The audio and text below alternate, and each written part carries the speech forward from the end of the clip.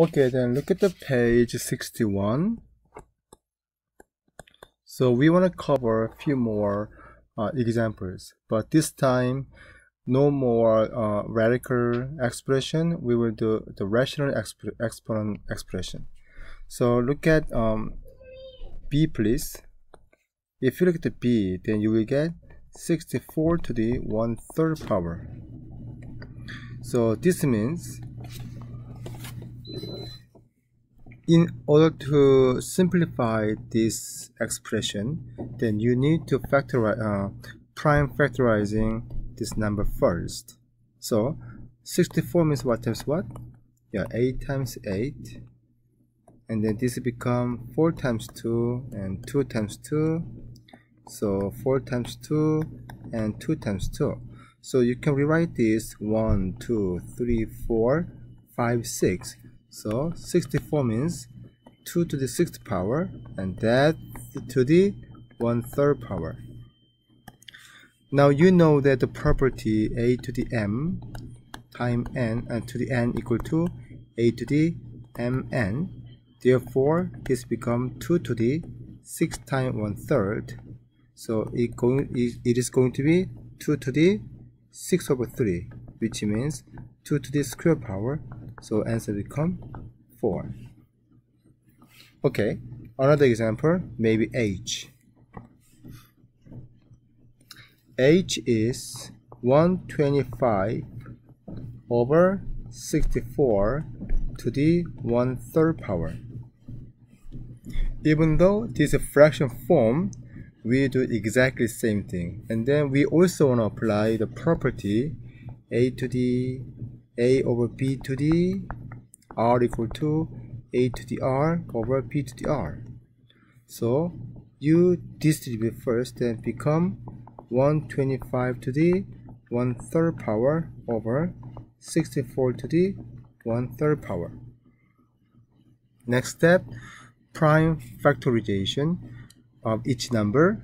So 125 means 5 times 25 25 means 5 times 5 and 64 8 times 8 2 times 4 and 2 times 2 2 times 4 and 2 times 2 so 1 2 3 4 5 6 so you can rewrite this 5 cube to the 1 third over.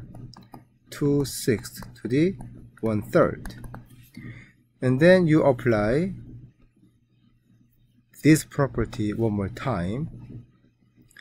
Then this is going to be 5 to the 3 times 1 third over 2 to the 6 times 1 third. So 5 to the 3 over 3 over 2 to the 6 over 3 so it is 5 to the 1 power over 2 to the square power. So answer become 5 over 4. So look at the page 62. Then you see the question is a little bit harder. So let's look at C first. Then 16 to the 3 over 4th power.